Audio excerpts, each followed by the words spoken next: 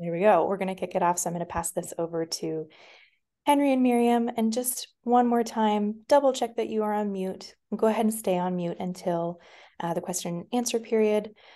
Once you are addressed, once we ask if you are um, ready to ask your question, you can go ahead and unmute and then engage with our presenters. All right.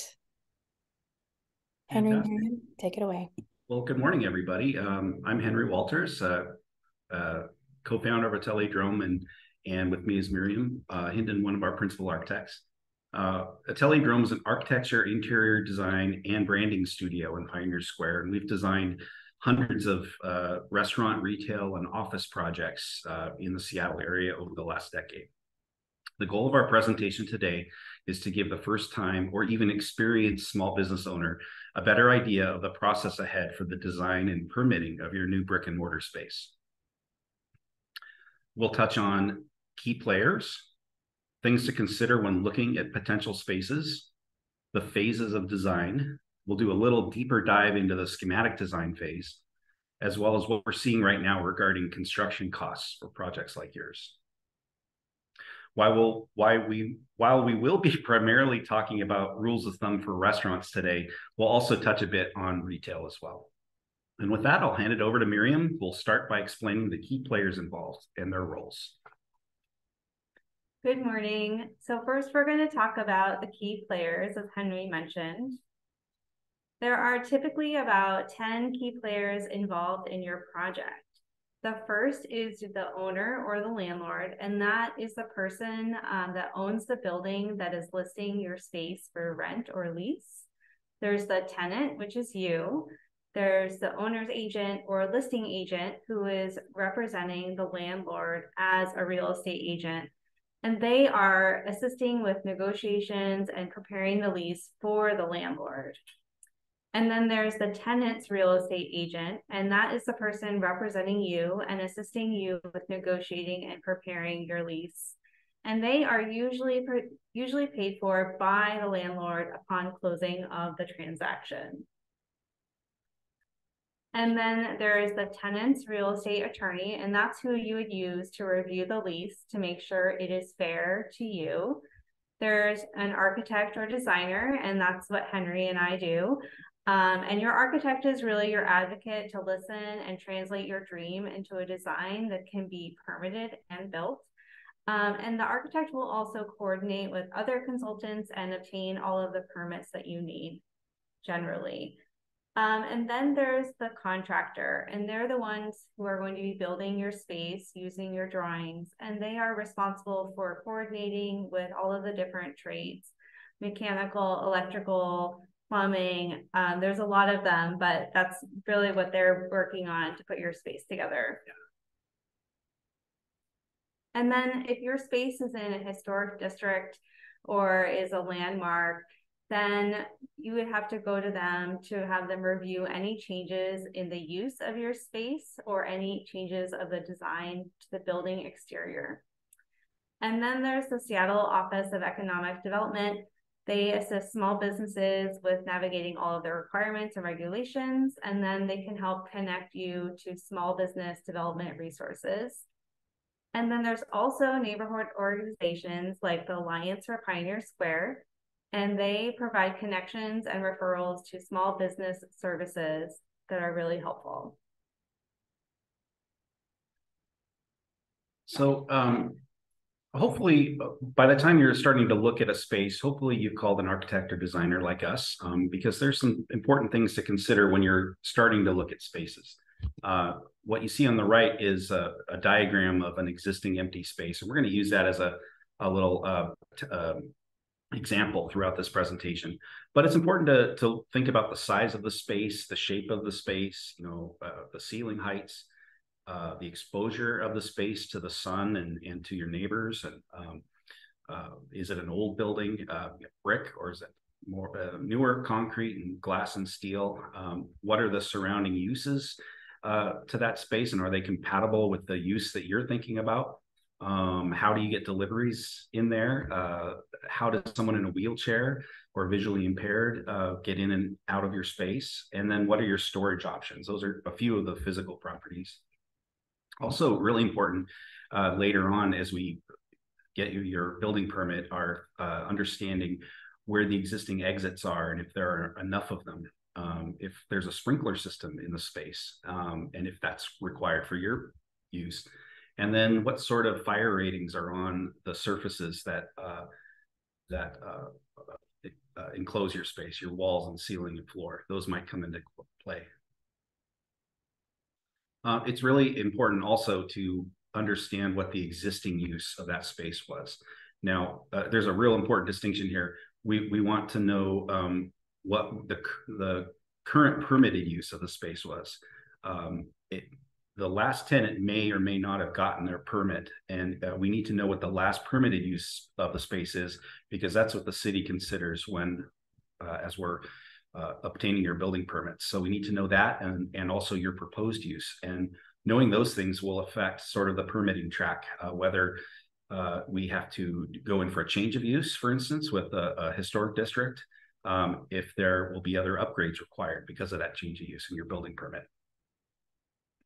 Other things that are important to think about is do you have enough electrical coming into the space, enough gas, uh, water? Uh, what is the heating and air conditioning situation like in your space? Uh, is that something the landlord pays for or will you need to pay for it? Um, how do you access garbage and where do you store your garbage uh, until then? Uh, other important considerations, um, like Miriam mentioned, uh, understanding if you're in a historic district, um, that will add weeks or months of time to the permitting process because we have to talk to them first before we talk to the building permit and get special permission. Um, we need to know pretty quickly also how many occupants are going to be in your space. And that's not how many people you'd like to be in your space or how many tables and chairs you plan on having. It's actually a math problem that this diagram sort of shows. Um, it's, it's a function of how large the space is and what are the uses going on inside the space. And that tells us how many occupants will be in the space.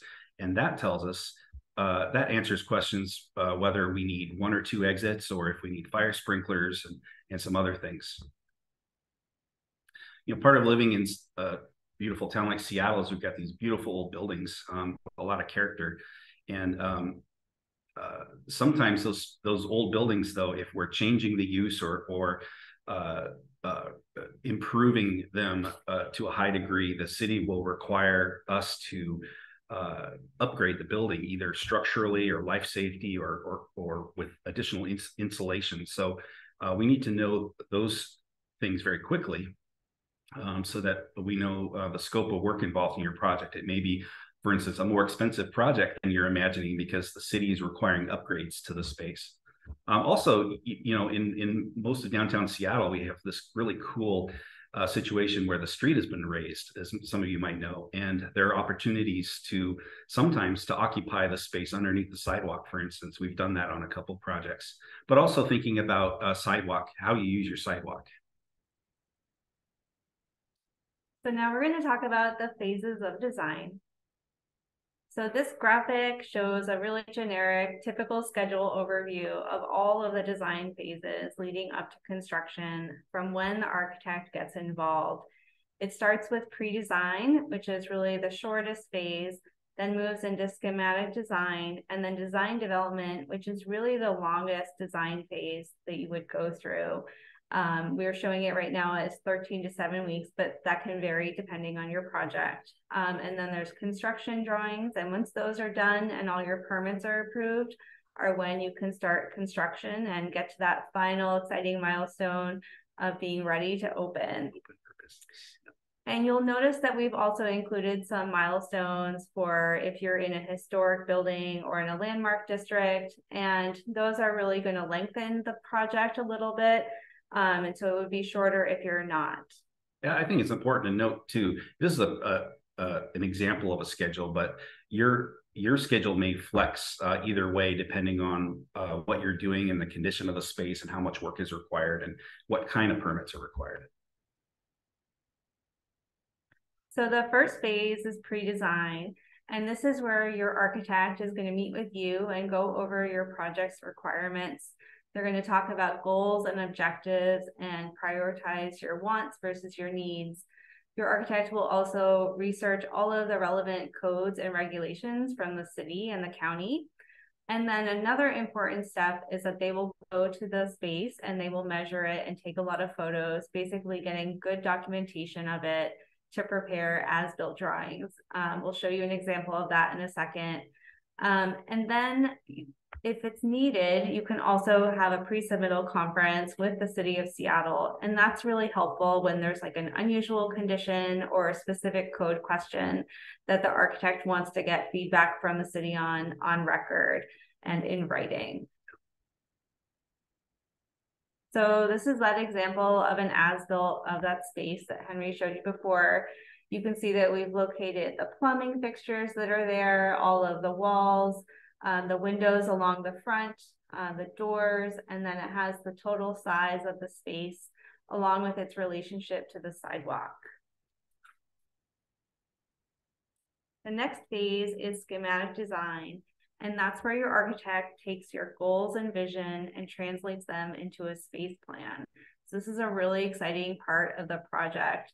Um, they will also start a concept board so you can start understanding the look and feel of your space. Uh, they will talk about materials and systems needed um, if there's anything to include for early pricing. And if you're working on a brand, this is a really good time to start the process to tie in your design for the logo and graphics. And usually, um, this is a great time to get preliminary pricing from a builder so you can understand the cost for your project. Um, the contractor will take the pre-lease space plan, a concept board, and preliminary pricing guidelines to put together a good number so you can understand that initial rough cost. And this is also ideal to have before you sign the lease for the space. So here's an example of a space plan. You can see that it shows the front seating area, the bar, uh, the number of tables and chairs and seats, uh, the two bathrooms, the kitchen, the dish pit, the walk-in, and then also there's a fair amount of outdoor seating to really take advantage of that sidewalk location. And on the right is an example of a concept board so you can really understand the look and feel of the space and the contractor can understand the type of materials you want and the level of detail and quality for the project. And, and, literally, these two drawings that you see right here, these two graphics, plus maybe a list of uh, assumed finishes, is really all that an experienced builder needs to put together that first rough order magnitude pricing with the goal of giving you an idea of approximately what it's going to cost before you sign a lease. And then the next phase is design development. And this starts when your lease is signed. And it's where your architect takes your design that you develop for schematic design and really develops it into technical drawings and details that are needed for getting your building permit. The architect will coordinate with consulting engineers, like if you need structural, mechanical, electrical, or plumbing. Um, and really that this whole process is about getting that building permit um, and then they would also revise that concept board that you did before to make sure it's really reflecting the current design and update the outline specifications with that next level of detail. And this phase is also when you would go to the historic or landmark board for approval if you need it. Also, this is when you're going to want to reach out to a kitchen equipment uh, supplier um, because lead times on on a kitchen equipment um, can be uh, pretty long. So we want to get that process started of ordering equipment. And these are some examples of what's typically provided as part of that permit. Um, so you ha would have anything really important to your space like kitchen equipment, all of that specified and included in the drawing so that you can understand the cost for that down the road. Um, and they're needed for your space to function if you're a restaurant. Um, sometimes you will have a rendering of the space so you can really understand the look and feel. And then also CAD drawings that are provided to show that next level of detail along with exact dimensions and everything that the building department really wants to see. And then the next phase is construction documents. So the permit drawings are really a subset of the entire construction document set. Um, and we start these while we're waiting for the city to review the permit drawings. And this is when we take those permit drawings and we fully develop and finalize the, the design in order for the contractor to know how to build your space. So we'll work on construction details, finalizing materials and finishes. Um, it's also a great time to select and procure your furniture, light fixtures, or anything you have in your space that wasn't previously talked about. Um, and it's also a great time to continue that coordination with your brand identity and your logo. Um, and really, this whole set is for the contractor to give you that final bid for your project so that you are ready to start construction as soon as you get that permit.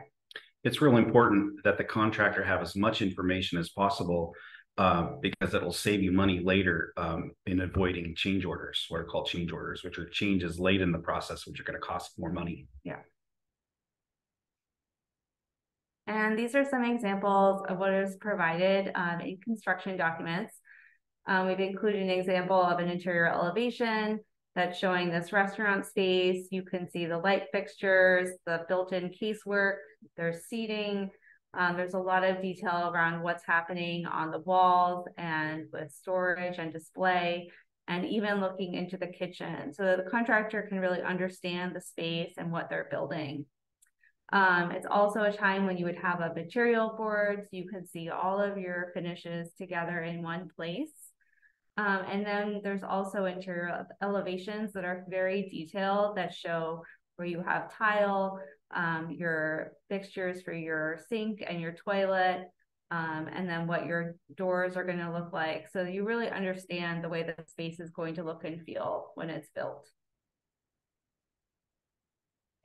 And then construction phase services start when you have your permit and your contractor really has everything they need to start construction. Um, your architect is usually available for regular meetings on site to clarify details or any questions that come up. Um, or if there's anything unforeseen that happens, like they're usually always available to help out and come out on site. Um, and then really the end result of this is that the design is built as you envisioned and you're ready to open. It's really exciting time. Um, these are some photos of our projects under construction. Um, and as architects, we love seeing this happen. It's really exciting for us. Now we're going to take a deeper dive into the schematic design phase, which is the yellow line on that on that time scale that um, we started with.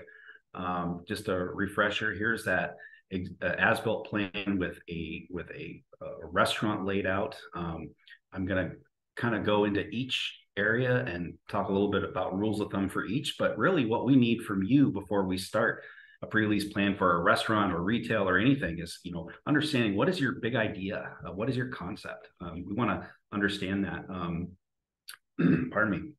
What are your food preparation procedures and your menu?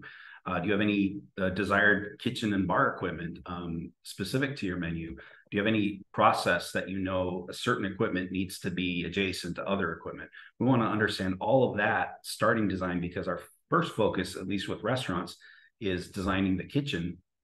Uh, and, and here's what you see here. So we're zooming in on the kitchen. And then uh, a few rules of thumb for kitchens is, um, like I said, this is usually where we start design because it's so important that it, the kitchen functions and works well.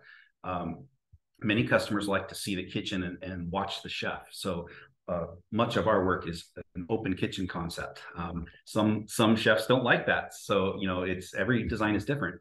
Uh, but an open kitchen does allow the sights and the sounds and the smells of of your process to take center stage, and you know customers really kind of dig that uh, to, to, watch uh, the craft. Um, but of course, you know, we need to be able to hide some things like your dishwashing area and your walk-in. So, uh, and then typically um, a kitchen and bar area, just rule of thumb, uh, generally is about 30 to 40% of the size of your space. And uh, that can flex though. If it's a much smaller space, though those uh, uses could take up even half of the space. Your projects here. Next area on the plan is the bar, um, as you can see here. Uh, a bar can be a great way to attract more customers to stay for dinner and increase revenue. Uh, we generally like to place our bars close to the front of the restaurant, visible, easily visible from the sidewalk and the street, so folks can see your back wall and and uh, get a sense of what's going on inside. Um, a rule of thumb for a bar: uh, eight to twelve seats is a good start, and then sort of adjust from there depending on the size and shape of the space. A few of our bars we've designed.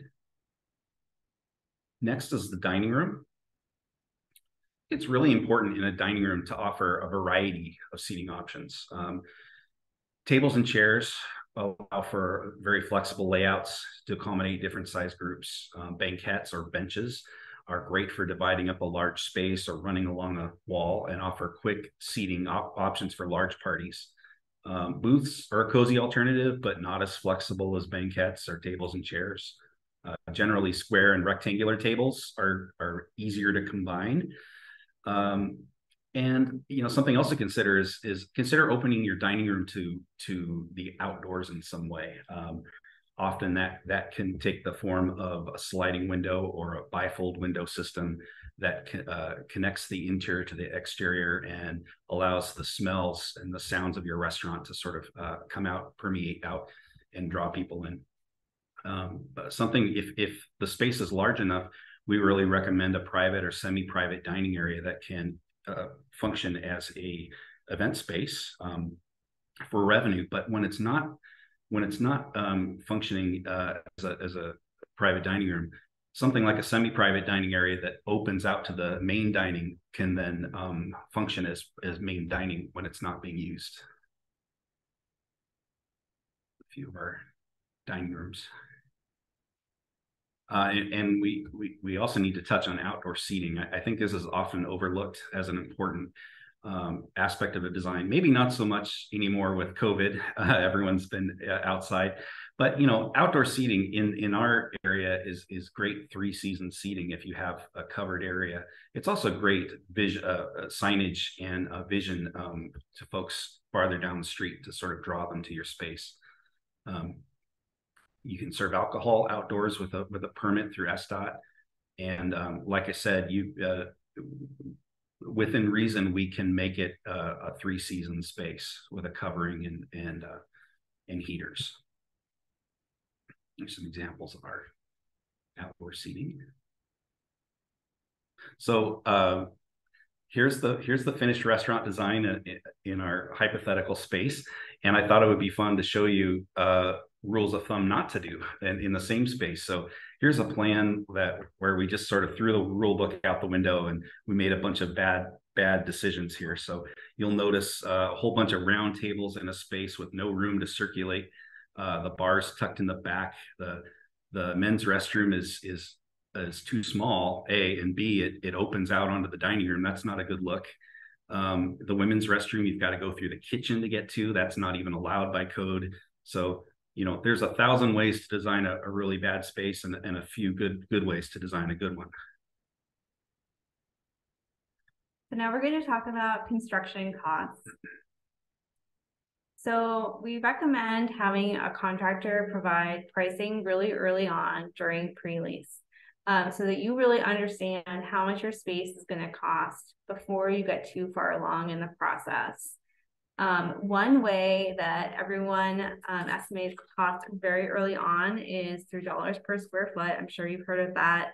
Um, restaurant builders tend to use 350 to 450 a square foot um, for their cost estimations. And that does not include finishes or like kitchen equipment. And it doesn't include like if it's an older building or if there's anything really unusual about the space. So if you have a restaurant that's about 1300 square feet in size, you might expect that your construction cost would be 455 to 585K. Um, and for a retail space, it's usually a lot less, um, about 175 a square foot to 250 a square foot. And it's really important that you are able to find a builder or contractor that's experienced in your type of space. So if you're um, building a restaurant, you want a contractor that's really experienced with building restaurants. Definitely. Um, and they can be really hard to find. Um, but once you do find them, it's really good to get on their schedule really early on so that you have them involved throughout the whole design process. Another thing to think about is the systems costs, and this is a level of design detail that happens during design development. Um, so your contractor would update pricing to include these numbers then. Um, electrical is about 25 to $45 a square foot, plumbing 45 to 55. Um, HVAC systems run about three to four K per ton. So that would be for air conditioning or any uh, um, new ventilation ventilation system required by the city for the space. Um, and then if you have a type one hood for grease producing cooking, um, then it's about fifty to a hundred thousand dollars. Um, a type two hood, which is generally used for light duty, non-grease cooking. Um, and if you have a high temp dishwasher, it's about 30 to 50K. And then construction costs normally include mechanical, electrical, and plumbing fix fixtures and systems. Uh, the kitchen hood, you'll see that contractors include a construction contingency that's usually about 10 to 15%. And that's in case anything comes up during construction that you weren't expecting. And so you'll uh, happen to see this go down as a design develops as there's more unknowns resolved earlier on. Um, and then you'll also see a line item for builder's profit and overhead. Um, and overhead tends to be about 10 to 15% and profit about 8 to 10%. And this also really depends on the contractor. It always varies. Um, but then also keep in mind that there is Washington state sales tax on top of all of this. So whatever the current tax rate is, um, it's important to think about that too. 10.1%, I think. Um, and then construction costs don't include usually tables and chairs, um, the kitchen and bar equipment. So like your stove, oven, um, dishwashers if you're a restaurant or a food space, uh, walk-in coolers, and then any kind of audio, video, or security systems. And it's important to remember that there could be other potential costs that come up during the project. So there's the real estate agent fees that we talked about earlier, um, the architect fees and any consultants that were needed. So like structural engineers or mechanical or electrical or plumbing. Um, and then the cost for a permit from the city of Seattle or King County um, and then your kitchen and bar equipment costs, and then anything that you're using day to day in the space. So furniture, silverware, plates, menus, all of that is additional cost that's not going to be included in the contractor's estimate. I know this is a lot of information to process, and hopefully it's giving you a better picture of what to ask for and what to expect as you consider opening your own brick and mortar business in Seattle. Of course, there's much more detail involved in all of this. We've tried to make it as accessible to the most people as we can, and we'd love to help you navigate it all if you decide to move forward. We'll make this PDF presentation available uh, to Camille, uh, Camille and her team um, uh, for you folks to download if you'd like afterwards. And, and with that, we'd like to open the floor to questions. Wonderful. Thank you to Henry and Miriam. That was so helpful. I would love to kick off the question and answer period. About 50% of our uh, audience members today are food businesses of one sort or another. Um, but I wondered for our retail businesses, sort of what sort of specific um, guidance points you would offer for retail businesses in the schematic design phase, thinking about showcasing goods or facilitating spaces for classes or just anything that you can think of that would be specific to a retail um, opportunity. Absolutely. Uh, want me to take that one? Sure. Yeah, um, we we've definitely designed retail spaces a, a lot less than than uh, restaurants, but I would say you know it starting with what's understanding what your big idea is. What are you selling? What sort of display needs do you need? Um, uh, maybe maybe you maybe you need maybe you know the lineal feet of display space that you need, or or the method that that you would like to display it. Um, I think getting as much of that out of your head to us is a great starting point, and then from there we can we can practice a few rules of thumb that that we've experienced over the years. For instance, you know, maximizing window display, uh, keeping things low in the front and higher in the back. Uh, lighting is super important for for retail uh, display, um, thinking about your process, the, the, the flow of, of folks through your space. Um, if you're selling clothes, do you need a, a, a, a, booth or two to to try them on? What sort of backstock requirements you might have? You know, are you going to be carrying a lot of backstock, or are you going to be ordering as you as you run out? Um, uh, what is your method of uh, your point of sale system? Um, uh, that sort of thing. I think just uh, I think that's an answer. Uh, getting as much of that in advance from the client as possible uh, is super helpful. Wonderful, thank you. So I'm going to pass this over to Lisa, who is going to start um, organizing questions in the chat. If you have a question, something that popped up um, during the presentation or something that you came to this presentation uh, with interest in learning, please go ahead and drop that in the chat.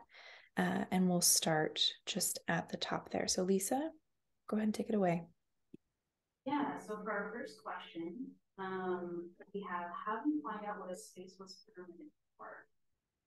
So I can take that one. Um, usually uh, the city of Seattle has uh, microfilm archives and they can um, basically provide you with all of the permit records that they have on file um, for the address. And so that's something that we often use in order to figure out what an existing space was actually permitted for. Yeah, um, and the city is over the last five or so years has been slowly scanning everything out of microfiche into essentially PDF or image files. So uh, going to their website and uh, entering an address, go, going to the microfiche uh, page and entering an address should get you what they have. Now, I will caution you that the older a building is, the less chance that the city is going to have any records at all. Um, but it's a good place to start. And sometimes if it's not on their website, they might have it in their actual like microfilm um, archive. So if you don't find anything online, then it's good to reach out to that email. Yeah. Can you talk a little bit about how you partner with ancillary design firms like issue planners? What they do for you and your clients, and what's a good relationship with? Absolutely, that's a great question. Um, I will say that uh, our firm uh, ourselves, for the most part, we we are the kitchen designer now. Now I say that um, as as someone who is not a chef. We've designed literally hundreds of restaurants, so we have a pretty good idea how to lay a kitchen out. But uh, someone like Bargreens, uh, I believe Heather Nusafora is on the call today. Uh, she is a good friend and a great collaborator on that. Um, it's important to uh, we will often start a kitchen and bar layout and then work with someone early on in in schematic design or design development like Bargreens to help actually specify that equipment and provide pricing options and like i said earlier it's really important we start that process early because of the lead times involved um, uh, in general, I believe that design should be a very collaborative process between designers, and we've done some of our best work with other designers. Uh, you know, it, uh, so I, I, think it's about fostering a, an, a, an, atmosphere of collaboration and sort of joyful creation um, that we do our best work in. I have a great question here about financing. Um, how is TI financed? Um, this person says, my understanding is that landlords often structure leases to include TI funding, which gets back, which gets paid back as part of the base rent. Can you shed any light on that process from the architect? I, I can. I mean, we, we, we're typically not involved in the financing of projects, but having just moved our office uh, about a week and a half ago and, and being a, a, a new tenant myself, I can tell you that yes, um, landlords will often um, offer a combination of uh, a, a, tenant build out allowance and or free rent. And it really depends on who the landlord is. If it's a if it's a new building versus old building, if it's a large uh, entity that owns the building versus a, a, a local family. So uh, I, I, can't get into much more specifics than that, other than to say it's it's important in our experience that you have an agent representing you in that process. Very often, um, a, a, building owner will will have a, a listing agent who is representing their interests and and bringing the space to market. But you need to have someone in your corner who can help you negotiate terms that are fair. And if I could just break in, Brian, um, Susanna Tran, who produced the commercial real estate, um, commercial leasing webinar is a commercial real estate broker, and I believe she expanded more on your question in her presentation. So if you scroll to the top of the chat, there is that link to our learning labs and our support hubs, um, and you may be able to find um, an answer from the perspective of a broker within that webinar. I think she can go into much more detail, Brian. Have any insight into theft prevention?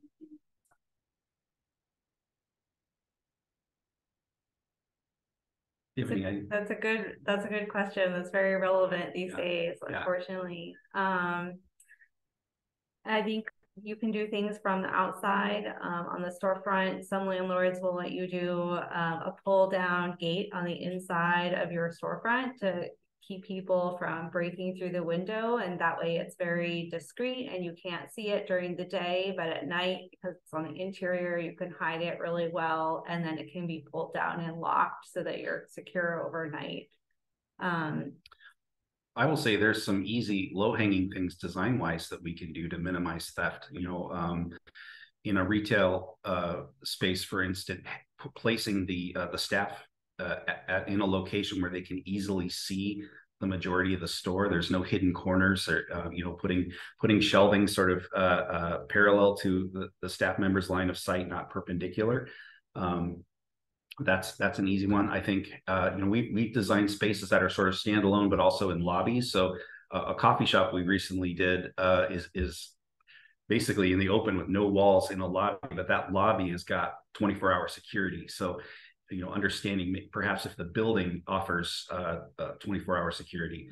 Also, maybe considering extra uh, back, back store, backstock uh, or storage for placing things, getting them off your shelves uh, when you're closed and placing them in a in an area that isn't visible from the front. So that's all we have in the chat. Does anyone want to unmute themselves and maybe come on and chat with them?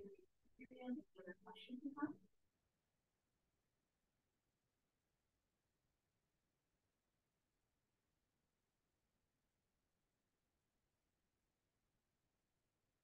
Oh, yeah. Um, hey there. Uh, my name is Yes Segura. Um, I'm the founder of Smashbox. It's an urban planning and design firm, but we also sell map art. Um, looking to one, I already am about to move into a space actually today in the international. Uh, really excited and wanting to turn it into a queer, transgender, uh, BIPOC shared co-working space. Um, yeah, have y'all ever worked on anything similar to that? Or have any advice? We've definitely done some co-working space, like Orange Studios was one in in uh, over on the east side. Um, yeah, I mean, do you have any specific questions to that use type? Uh, furniture. yeah. Are there any uh, great places to be like uh, other than Goodwill um, for furniture? Well, uh, you know, I will say our very first office, uh, we had a very low budget and we went to IKEA and we bought some tops and some legs and we somehow made those work for 12 years. And we we just last week graduated to uh, to, to desks that we had a, a friend of ours build. Um, I wouldn't, you know, I wouldn't uh, uh, discount having someone build some nice desks out of like maybe some uh, apple ply or maple ply, some real simple legs. Um, Sometimes people use doors like off the shelf or yeah. you know that don't have panels in them, and they just put legs on them, and that's really they actually look really nice. We did that for a few years too. Yep. Yeah. Um, but I think also like there's plenty of people. I think unfortunately they're selling a lot of office furniture, especially when they're upgrading. So I think resale is always great. Mm-hmm. Um, and I saw someone on the chat said Duckies, which I totally okay. that too. Yeah.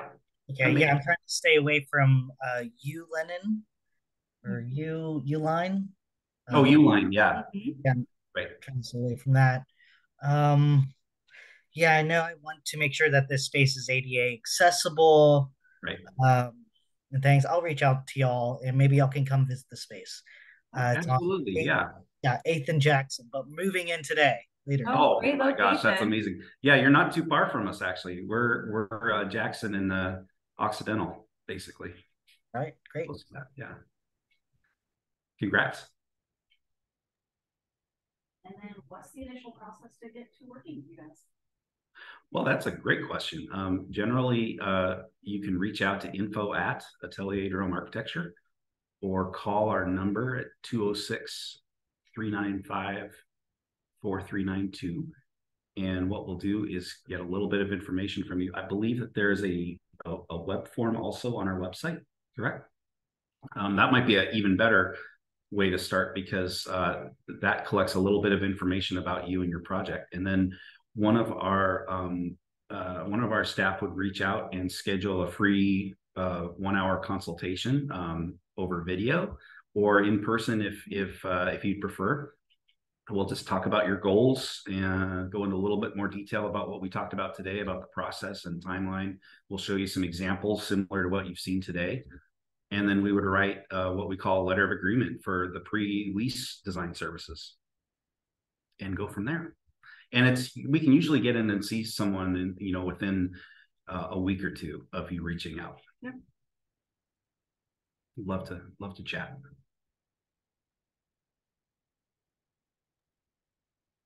Okay, we'll just hold space for the next couple seconds. If anybody is uh, interested in asking a question, they can go ahead and unmute themselves at this time.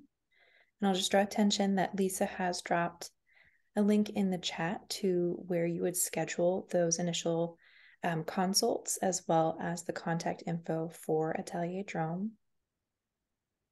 I hope that, I hope that we've presented it, it. It's a it's a very technical, uh, detail oriented process, and we've really tried to make it as approachable as possible. But there's definitely more detail we can share uh, offline if you if you need to know more uh, about anything we talked about today.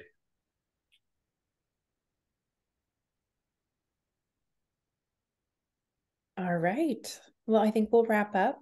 Henry, Miriam, Lisa, thank you so much for guiding us through this today. Um, we will be sharing the PDF presentation via email as well as links to where you can find more information in our learning labs. And when um, we're ready to disseminate the recorded um, webinar, we'll send that along as well. We'll make sure that Lisa's link to scheduling a consult as well as um, contact information is also in that summary email. But I think that's it for today. Thank you all so much for being here with us and have a sunshiny weekend. It's an opportunity. Thank Thanks everyone for tuning in. Thanks for coming. Bye all. Bye bye.